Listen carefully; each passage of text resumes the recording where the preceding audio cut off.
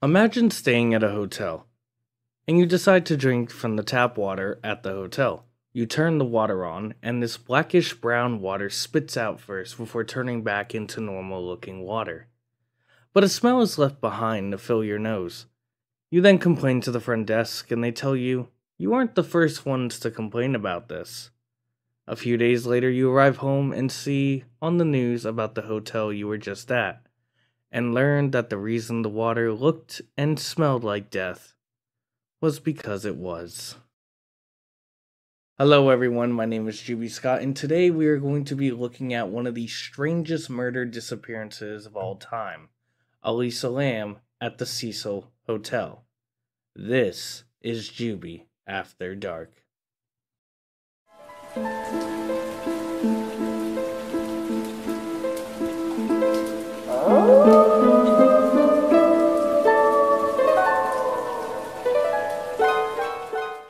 Elisa Lam, the daughter of immigrants from Hong Kong, was a student at the University of British Columbia. Lam had been diagnosed with bipolar disorder and depression. She had been prescribed several medications for her mental health issues. Lam had a history of not taking her bipolar medications and, as a result, on several occasions suffered hallucinations that would cause her to hide under her bed for refuge. She was hospitalized at least once for one of these episodes. For her trip to California, Lam traveled alone on Amtrak and intercity buses. She visited the San Diego Zoo and posted photos taken there on social media. On January 26, she arrived in Los Angeles. After two days, she checked into the Cecil Hotel near downtown Skid Row. Lam was initially assigned a shared room on the hotel's fifth floor. However, her roommates complained about what the hotel's lawyer would later describe as certain odd behavior, and Lam was moved to a room of her own after two days. According to Amy Price, the manager at Cecil Hotel and Stay on Main, at the time of Lam's disappearance, Lam was leaving notes for her roommates that said, Go home and go away, and would lock the door to her room and require a password for entry. A few days before her disappearance, Lam attended a live taping of Conan at Burbank but was escorted off the premises by security due to disruptive behavior. Lam, contact, Lam contacted her parents in British Columbia daily while traveling. On January 31st, 2013, the day she was scheduled to check out of the Cecil and leave for Santa Cruz, her parents did not hear from her and called the LAPD. Her family flew to Los Angeles to help with the search. Hotel staff who saw Lam that day said she was alone Outside the hotel, Katie Orphan, manager of the last bookstore, was the only person who recalled seeing her that day. She was outgoing, very friendly, very lively, while getting gifts to take home to her family. Orphan told CNN. She was talking about what books she was getting and whether or not what she was getting would be too heavy for her to carry around as she traveled, Orphan added. Police searched the hotel to the extent that they legally could. They searched Lam's room and had dogs go through the building, including the rooftop. But the dogs were unsuccessful in detecting her scent. But we didn't search every room, Sergeant Rudy Lopez said later. We could only do that if we had probable cause, to believe a crime had been committed. On February 6th, a week later after Lam had last been seen, the LAPD decided more help was needed. Flyers with her image were posted in the neighborhood and online. It brought the case to the public's attention through the media. On February 13th, after another week with no sign of Lam, the LAPD released a video of the last known sighting of her taking in one of Cecil's elevators by a video surveillance camera on January 31st. In approximately two and a half minutes of footage, Lam, alone, makes unusual moves and gestures. She appears to press every button on the elevator panel, peers into the hallway, then leaves the elevator at one point while its doors remain open. When the doors fail to close after she returns, she leaves. The doors close later.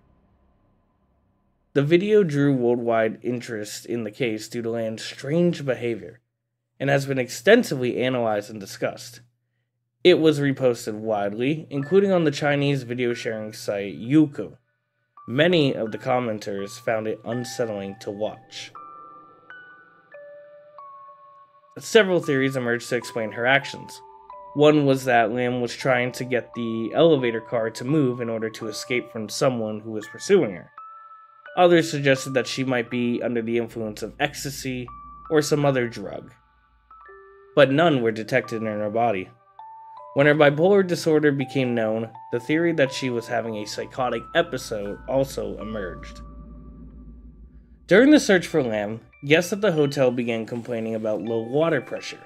Some later claimed their water was colored black and had an unusual taste.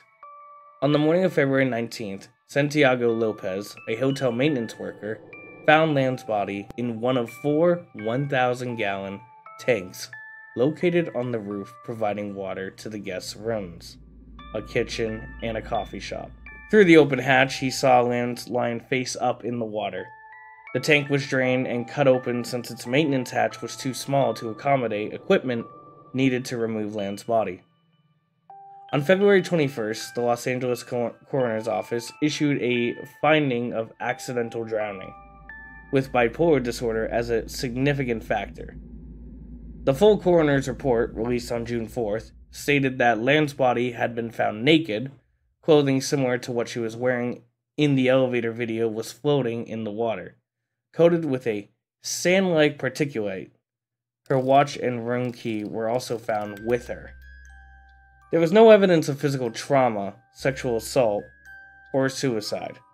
Toxicology tests showed traces consistent with prescription medication found among her belongings plus non-prescription drugs such as Sunutab and ibuprofen. A very small quantity of alcohol, about 0.02%, was present, but no other recreational drugs was present, but no other recreational drugs.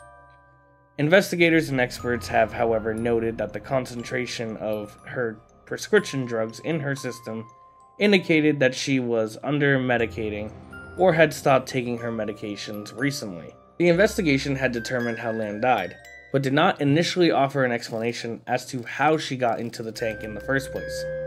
Doors and stairs that access the hotel's roofs are locked, with only staff having the passcodes and keys, and any attempt to force them would supposedly have triggered an alarm.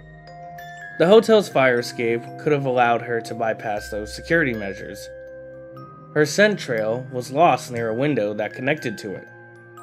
Apart from the question of how she got on the roof, others asked if she could have gotten into the tank by herself. All four tanks were 4x8 foot cylinders propped up to concrete blocks.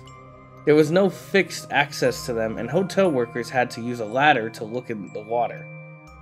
They were protected by heavy lids that would have been difficult to replace within. The hotel employee who found the body said that the lid was open at the time, removing the issue of how she could have closed the lid from inside. Police dogs that searched through the hotel for Lam, even on the roof, shortly after her disappearance was noted, did not find any trace of her. After her death, her Tumblr blog was updated, presumably through Tumblr's queue option, that allows posts to automatically publish themselves when the user is away. Her phone was not found either with her body or in her hotel room. Whether the continued updates to her blog were facilitated by the theft of her phone, the work of a hacker, or through the queue is not known, nor is it known whether the updates are related to her death. To this day, it has not been confirmed how Elisa Lam died.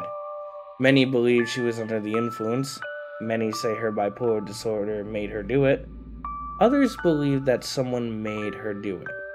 But with the lack of evidence for all these popular theories, we may only speculate for now. Thank you guys so much for watching this Juby After Dark. I know it's been a long time since I've released an episode, and I'm happy to have finally found a topic that I deemed was ready to bring this series back. Definitely keep an eye out for more, and if you like the content that I made, please like and subscribe. It helps out the channel a lot, and I would love to see you all here again. Thank you guys so much for watching. I will see you all next week.